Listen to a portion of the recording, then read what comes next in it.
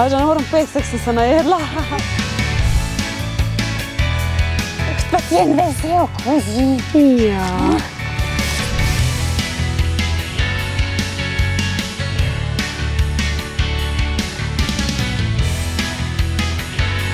Živijo! Živijo, zdravo. In en prečudovit pozdrav, tokrat iz Koroške, Iz Uršle gore. izpod Uršle. Wow. In tokrat spet v moji družbi pevka Alja, že drugič na potepu. Ja, dolgo se že nismo družile. Danes pa nismo same, a ne? Mama tudi pasjo družbo. In to Eh, Smrkolin, Bono in Aba, evo, zdaj se kregajo, zato ker se ne more zmeniti, od kjer ga je Aba. Ampak v bistvu sem videla tudi tukaj zato, ker bo predstavili, kje bo potekal dogodek Laško gremo v hribe. Ja. ne? Eh, 10. avgusta se vidimo na tem prekrasnem hribu na Koroškem, se pravi na Uršli gori. Z vami bomo moja malenkost, Marko Vozel, ansambl um, Juhej. Juhej. Sem hotela reči smej, ampak je Juhej. Juhej. Uh, pa tudi Martina Šab bo, jaz, jaz se tega zelo veselim. No, Ne zato, pa ker- tvoja dobra prijateljica. Ja, zelo. Skratka, imate več poti, mi dve smo se odločili, da parkirava avto tukaj, to je mal pod rampo, naprej ne morete z avtom, lahko pa hodite tudi le.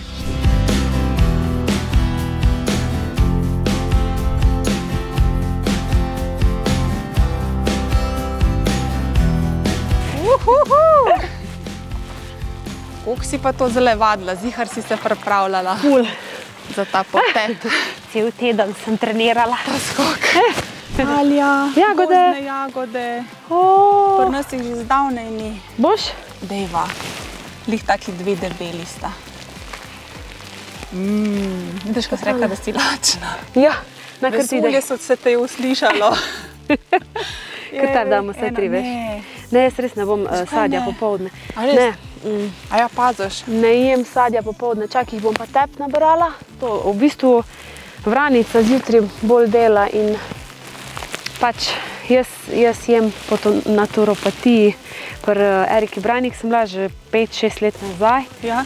in uh, sem se res navadila, v bistvu samo od zjutraj do 9 jem sladko. Kdaj si se pa začela v bistvu tako poglabljati v hrano, ker meni je v bistvu prehrana tudi zelo pomembna. Ne? Ja, ko sem doživela svoj drugi burnout, uh, takrat, v bistvu fulne rada pogrevam te stvari, zato ker verjamem, Ja. da o čemer tisto, kar govoriš in tisto, čemer posvečaš pozornost, tisto raste. Okay. Zato pač bom samo omenila, ja, ščitenco. Sem imela hude težave, re- res, resna bolezen je bila pri meni. Ampak zdaj še vedno imam ščitnico in sem zdrava. ja, V bistvu imaš zelo podobno zgodbo. Ne? ja, ja. Vidve smo si ščitanco mal Ja. uničili, oziroma se je uničila. In meni je organ nazaj. popravili. Tako, meni je organ nazaj zrastel. Ja. Kako, mislim, zakaj misliš, da je zrastel nazaj? Kaj je v bistvu najbolj pripomoglo k temu? Jaz sem se alternativno zdravila in se, jaz bi vsekako rekla, da je to skupek vsega bilo. No. Ja. Ni bila samo ena stvar. Je pa ena od stvari, ki mi je potem tudi v nadaljne pomagala, da sem se umirila, da sem uh, se sfokusirala, opala, da Ja. ja. sem kamenčki. No, je težko hoditi, Ja. ja. govoriti, klele, kaj kar breg. Ja, bom pokazala, kako hrib je. Zdaj se začenja. Eh, kaj pa to nam se pravi, pač meni si ti, veš, malo je takih oseb, ki se res celostno lotne. Največ je takih, ki pač zaupa zdravniku. In pač tako je to. In uh, smo imeli veliko skupnega, ker smo se v avtu pogovarjali ja. O dr. Joe Dispenzi. Ja. Obe dve meditirava po njem. Ja. In pač jaz pravim, da bi mogel vsak prebrati njegovo knjigo, oziroma Ja. vse njegove knjige. Uh, ja, mislim, jaz vedno verjamem, da karkoli že v življenju, da fajn pač iz ptiče perspektive pogledati in celostno uh -huh. uh, pristopiti k stvari. Zato, ker sam ena stvar mogoče ti nujno ne bo pomagala. Je že res, da se, da se je dobro držati neko obdobje nečesa, da vidiš, ne, če je nek rezultat. Ampak celostno tudi ne pomeni. A Veš, jaz sem pri večjih segmentih uh, si urejala zdrave, recimo, vem, pa sem uredila prehrano, ne. potem je bila tukaj homeopatija, pa akupunktura, pa Uh, uh, refleksoterapija. Ja, refleksoterapija. aha. No, to mi je všeč tudi pri naturopatiji, da eh, združuje.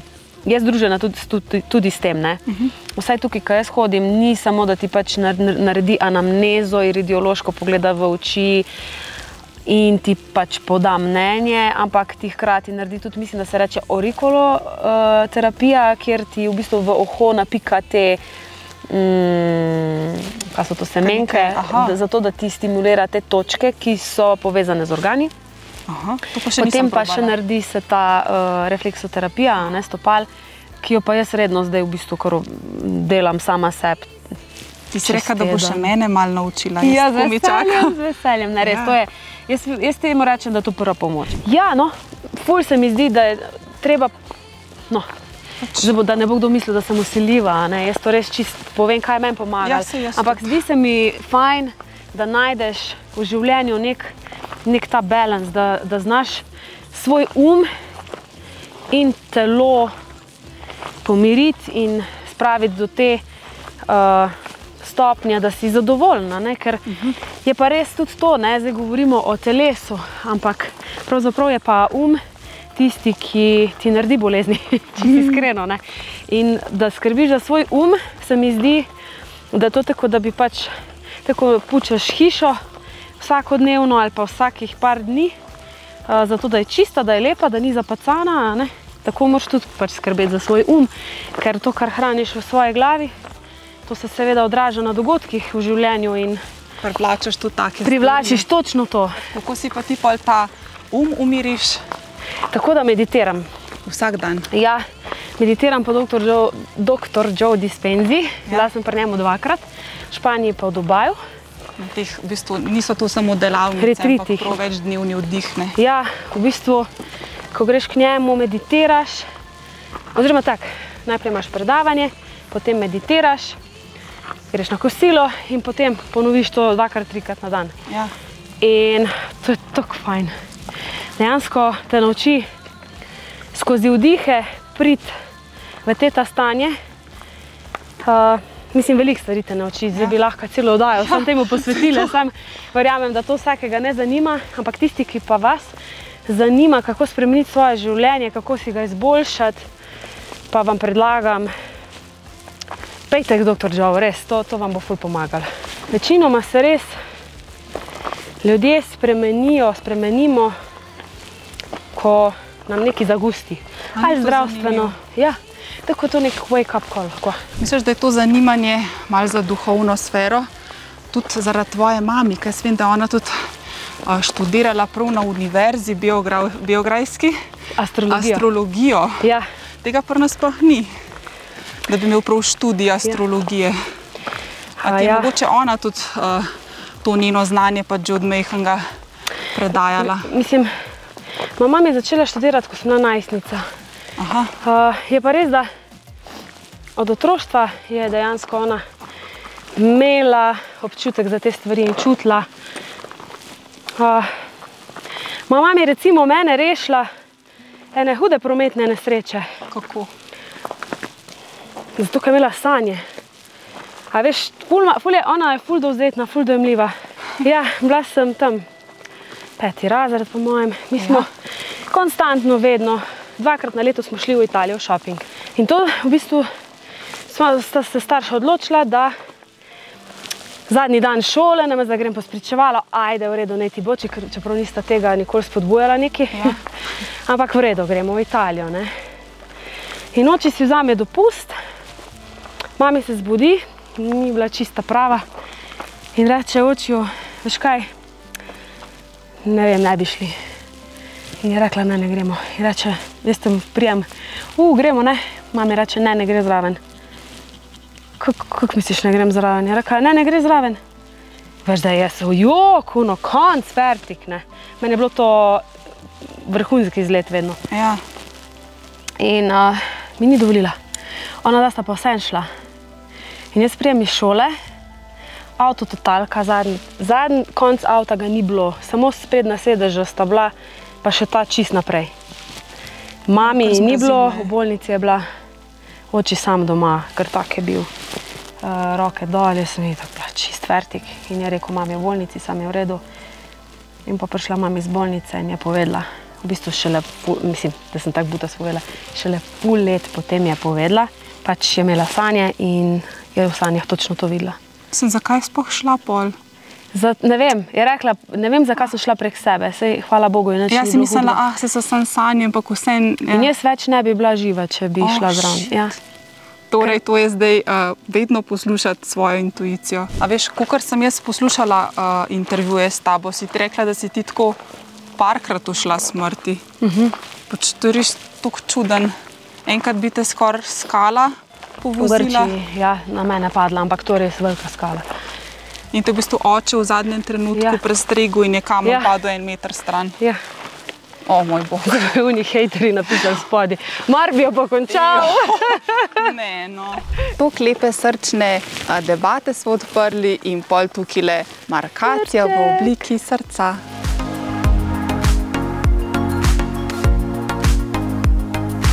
Zdaj imamo pa na izbiro, ali greva po gozdu ali pa po Makedamu. Po gozdu je bliže, ne?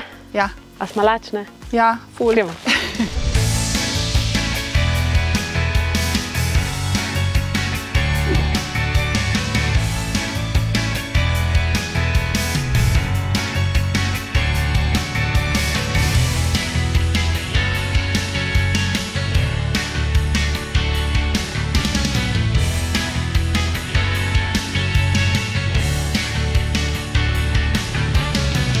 Bi rekla, da je taka hribovska himna vse.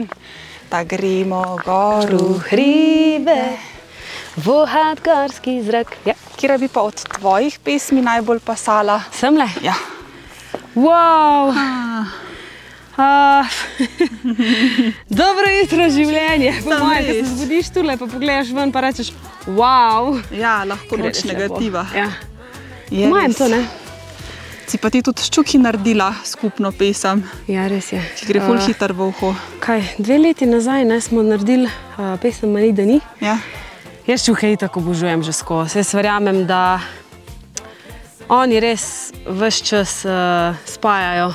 Mlado in staro. Ne? To je pa res. In ko mlado zraste, se vsi radi spominjamo teh njihovih pesmi. In um, krasni so. pa- Glede na kaj se v bistvu od- odločiš, a boš ali ne naredila duet z nekom. Tudi recimo s kvatroperci je bilo ful lepo, ko si enkrat rekla, da ti, ka vi skupaj zapojete, da dobiš prav tako kurjo pot. Ja, to še vedno. Mi se imamo ful, ful radi. To uh -huh. res ni kar tako rečeno, uh, ampak čista, čista resnica.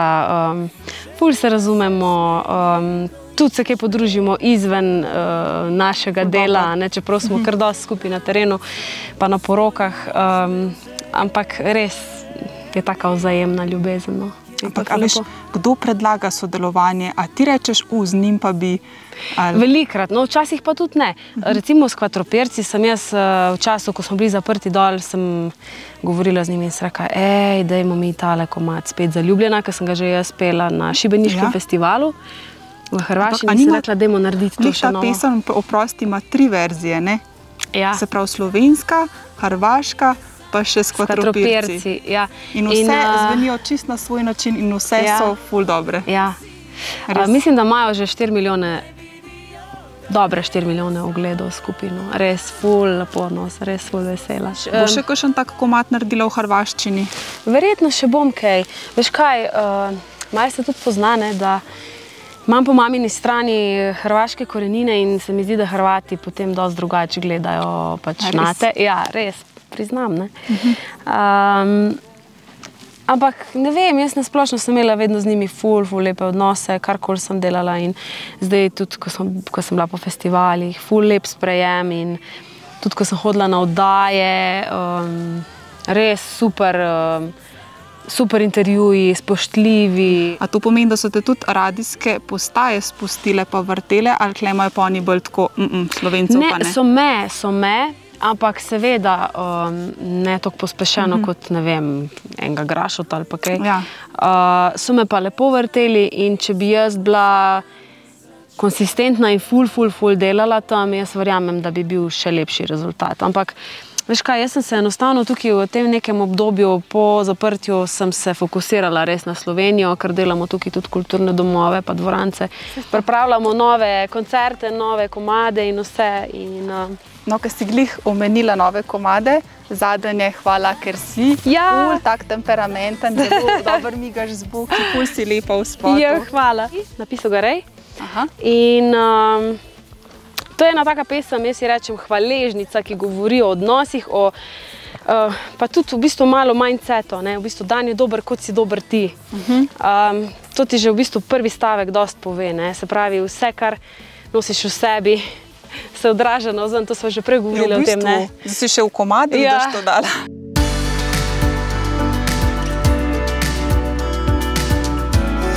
Uх, pa ti en vesel kozi. Ja. Kot da imaš kučmo. Što pa res greje, ne? ja, vroče. Čeprav je. mogoče so tako kot ovčke, veš, da, ne, da jih polit hladi. Ne, Kaj pa vem, če. mislim, ne. Po mojem, po mojem, bolj ne. Evo, abico pa nosimo zdaj že malo. Dojenček. Ja. Eno vprašanje, glede na to, ne, da imaš tako različne pričeske, od ne vem, imela si roza lase, pa ful dolge, pa čist kratke, pa zdaj imaš pas, paš. S katero pričesko se najbolj počutiš? Odvisno od obdobja, veš. Mm, Zdaj le poleti mi ful paše, da imam kratke, mm. ker si ne znam predstavljati, da bi iz vode ven prišla, pa imela te dolge, mokre lase. Um, drugače pa zelo rada dolge pač, lase. Ja. To, to mm, se počutim zelo, zelo fajn in ženstveno. No. Tako da v bistvu za koncerte mi še vedno frizer naredi kdaj. A, ja. Podaljške mal. Ampak Mislim, take, to so da te se klipon, ja, ja. tako, da grejo dol. Ja, itak. ja, klipon. Ja. Sem recimo ne, um, takrat, ko si veš imela te pesmi Zvezda večera, ne, Uf. pa tako, si imela v bistvu tudi imič čist drug, ne tak. Uh, Ja, to so bila najstniška leta. Ja. Veš, jaz sem zelo, zelo zgodaj začela. Ne? In sigurno, da se je stil glasbe v vseh teh letih obli preoblikoval. Ja. Se bi tudi bilo čudno, če bi Ostala tam ostala. z roza lasmi. Ja, mislim, se lahko bi, no, se Ja. ja. nič narobe, ampak eh, sama vedno jemljem. Tudi vizualo kot neko osebnostno rast. Se mi zdi, da se do, dosti ljudje skozi vizualo izražamo, odražamo to, uh -huh. kako razmišljamo, ne, kaj, kaj je naš mindset. Tako da, ne vem, zdaj mi je najlepše v življenju, res, zdaj ful uživam. No. Moja glasba sigurno se je otoplila, je postala tudi, uh, bi rekla, tekstovno takšna, kot, kot se jaz zdaj počutim in Aha. mi ful paše. Pač takšna sem. No. Ja. A se meni sam zdi, da jaz vidim tam le gor neki. Ja, vr. Jej! Uhu! Jaz se tudi v bistvu spominjam tega mojega odraščanja v osnovni šoli, ko smo te res nažigali še na telefonu, si v bistvu bila za moje zvonjenje, Oh. oh. pesem Zvezda večera.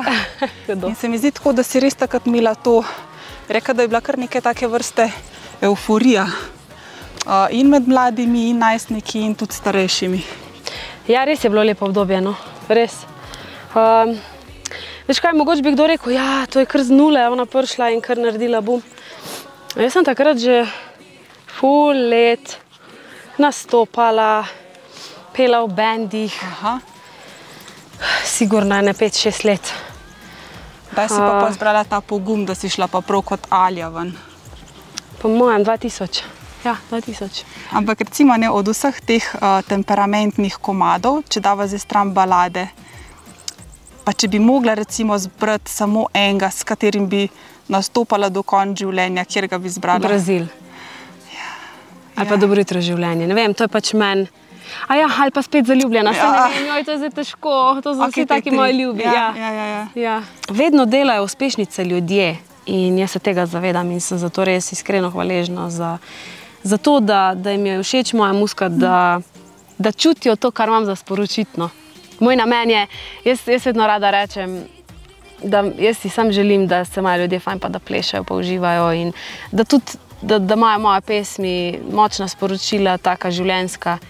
Uh, in vedno sem ful srečna, ko dobim na koncertih ali pa tudi domov uh, sporočila mojih poslušalcev, da koliko jim je kakšna pesem v, v določenem obdobju pomagala v življenju ali pa iti skozi težke trenutke. Evo, zdaj sem Oh, ravno wow. dobila knjigo, ki se imenuje Hvala, ker si in me je poslala ena Iris, ja? ki Ja? je tudi knjigo napisala in uh, je zraven dodala napis, da koliko je to v življenju. Ta, v bistvu, Uh, ta moja muska pomagala no, in sem bila res počaščena. Tako da, evo, to je moj namen. Oh, wow.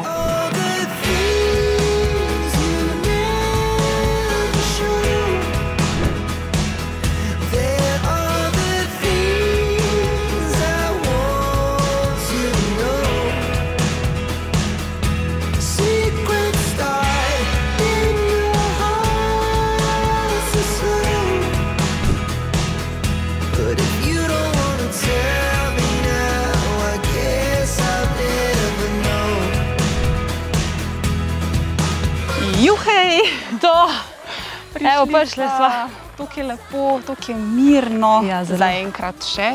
Zaenkrat še desetega bo pa noro. Laž, ko gremo v hribe, ne bo glih mirno. Je pa veliko prostora, tako da tudi če bo gužva, se bo to tako lepo razporedil. Ja, res je lepo, ne vam pokazati. Opa, cupa, cupa, cupa. Hudo. Pa tudi, veš, na zadnje, ko sem bila jaz tukaj, je bil sneg Au. in sem se zgubila z gostom. Verjetno se gledalci tega dobro spomnijo. Ti le, se ne bo. A ti znaš si judskat? Ljudska. Judskat, vriskat. Ne. Ne? Dej. A jaz Kako? Ne. A jaz mislim, da zdaj ti pokazala. A ja, ne, lahko probam. Ne. Čakaj. Ja, ja, ja. Dobro ti gre. Ne, sem se drugače jodla, jodlanje sem bolj imela v mislih, ampak tis pa ne znam. Že? Jolari, jolari, jolari, jolari, jolari, jolari, jolari, jolari, jolari, jolari, jolari, jolari, hej, hej. Lajo! Uh, tam je pa še en čeden oskrbnik tega doma. Dobar dan. Živijo. Kako sta dečve? Super, hvala, zdravo, zdravo. Lepo je što. Hojla. Lep, lepo je, lepo. Jo. Jaz sem um, kitarista, imam uh, iz Koroške. Ja. A res? In pa sem se malo že navadila. Halo.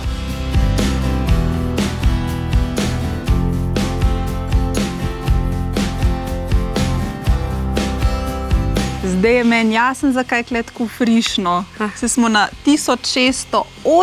Toliko je. Ja, Videla sem vedela, da je nad tisoč, ampak da je Da pa pa toliko, je pa- 1680. Vrh je pa na 1700. A A, res? Drugače pa le, na zdravje, ne? očitno pač dvojno vidimo, ker smo dobile tole ingver medico v roke. Lej to domači med. Domača strt. Imaš rada med? Joj, obožujem ga, res. Ful ga imam rada in jaz ga jem na palačinkah.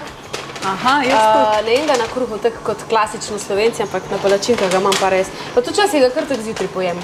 Res ga imam rada. Evo čebelarja. Evo ga. Le, kar prid naprej, veš, danes bomo kuhale žgance same. Resno? Ja, Wow. A si jih že kdaj v življenju sem koroške? sam ne koroški. To bo zdaj gospodič razložil, ja, kaj fora. uh, kaj naredimo najprej? Verjetno za uštekama. Uš, uštekama. Prva mager pržgnova, ja, da bo zagorel, oj, in pa da bo se skledal zagreval, pa bo. Zagriva. Ja. Prav to so zdaj prav koroški. Koroški žganci, ja, tako se naredijo, koroški ajdovi žganci. To imamo domačo ajdovo moko, čista ajdova moka, na mlinu mleta. Wow. To ima da, ne, eno kilo moke, Tukaj velik. Eno kilo ima naredi. Od začetka bolj, Olja ali ne? od začetka ne rabiš, kaj, ne, ne, nič, ne sme biti kaj na tem. Pa kralja, ajde, miši, miši. Ja, malo lahko tako mešaš. Od začetka ni treba tako hudega, pol pa že. Okay. No, to mu pa, to mu pa še vodo dali. Zdaj. Ja, zdaj se že oha, zdaj gre že malo para ven. Ja. Tudi ta prvo je vlaga para. Takrat, ko se bo zakadil, bo. Ja, prvič se zakadi fejst, Saj zdaj se bo začel fejst kaditi, če bomo malo pomešali še bolj. Zdaj, boš videl. Se pravi, vlago iz moke ven. Ja, zdaj gre, pol pa še ne 3-4 minutke traja. Le, zdaj, zdaj, bo, je a vidiš, aha. zdaj, je- zdaj gre vlaga ven. Zdaj. In vsak misli, da je že zdaj fertik, ali da že bo to, ne vem, kako se kadi. Ali. In zdaj gre prvo šele vlaga ven. Ja, ni. Ja, pol pa še Mi malo. žgance delamo tako, da bo vrelo vodo noter, ne? to pa v bistvu čist druga zgodba. Ja.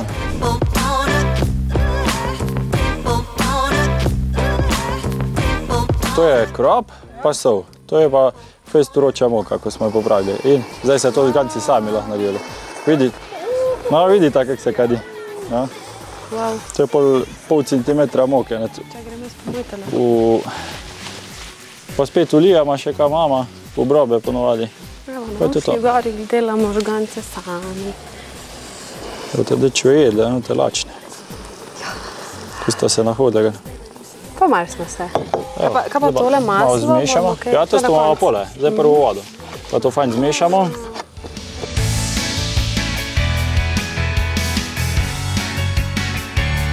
Boste videli, če pa pa damo, jaz dam 250 pa gramov na eno kilo. Pa še malo mešali. Brez masla ne gre. Ne, Ja, neko, niso tek dori. maščoba mora biti, ne? Ja, fajn je. Kaj pa, če bi dal olivno olje, ne? Ja, mogoče, malo bi pogranil. Leto. Dalmatinske žgance.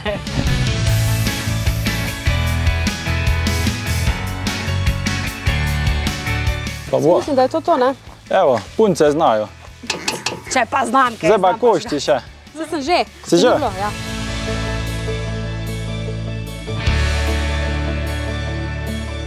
Zelo dobri žganci. Zelo dobro si naredila, ja. Jaz sem še od cvirke gor.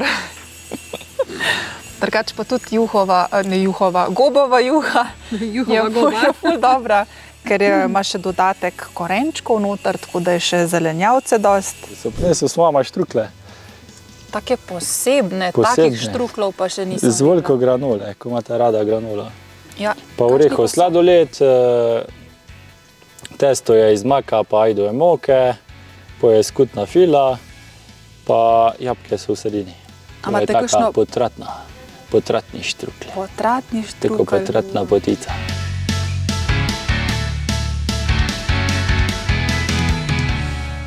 A ja, še to. Reči, A ima kakšno posebno ime ta štrukelj? štrukelj ima posebno ime.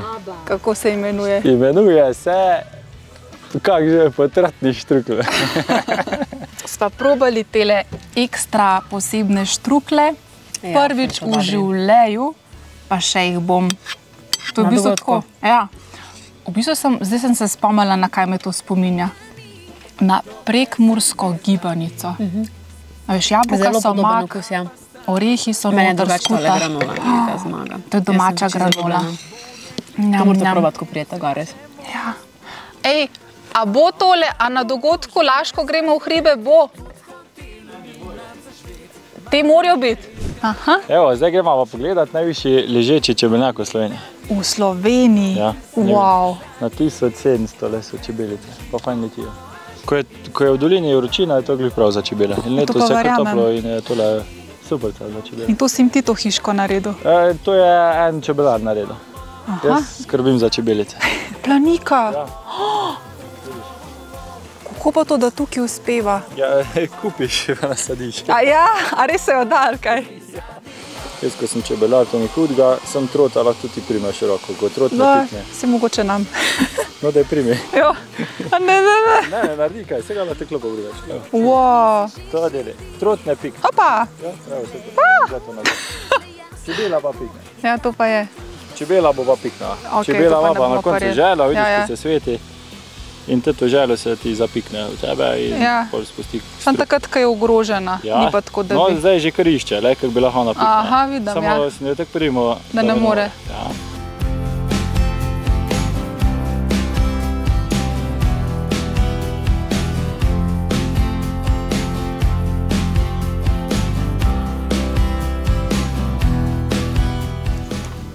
Oh, wow. uh, je bila pa baje zgrajena 16. stoletja. Ne? Pa ja. To je najviše ležeča, ne? No, cerkev. Okay. Ja. A je sveta Uršlja ali Urša, to smo se. Vseeno. Vseeno. Urška, Uršula, Uršlje, Urške. Kdo je, kaj piše, da sveta Uršula.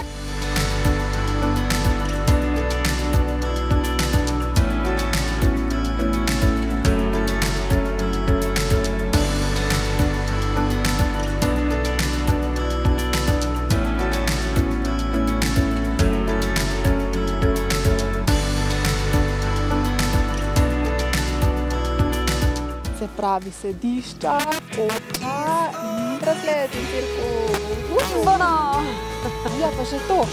A odr bo pa stal tam.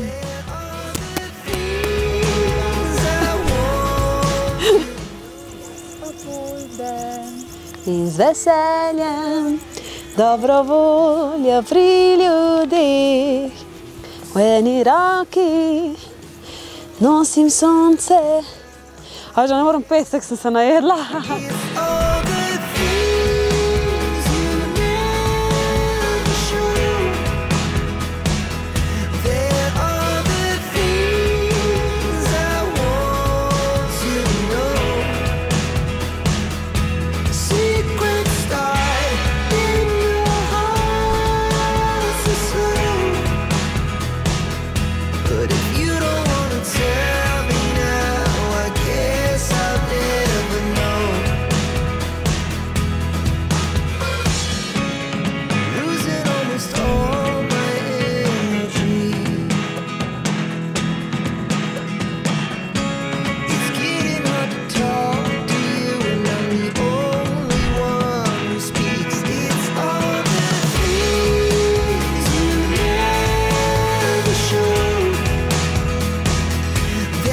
zdaj pa v dolino. Zdaj pa tako, kako že poriti. ne, ne Ja, gremo poriti. Ja. Ne, ampak tako ti imaš pa res razgibano poletje. Včeraj si bila še na morju, danes Ja. ja. v hribih, jutri spet na morju. Dober. Mm, Je kar zanimivo. Ne? Jaz sem vedno, veš, imam ta, ta tempo nek uh, zelo, zelo živ, pa raznobarven. No? Kar se tiče lokacij, eh, gledam, kje je moj Bono, ker on Ja. vedno zamuja. Bono, pridi. Očitno se ful dobro tukaj E, počuti. mislim, da bi on sploh zelo rad prišel še enkrat. No, sej vidiš, Gor, še bo ja. kmal. 10. avgust. 10. avgust, tako Se se vidimo vidimo. Gremo v hribe na Uršljo goro.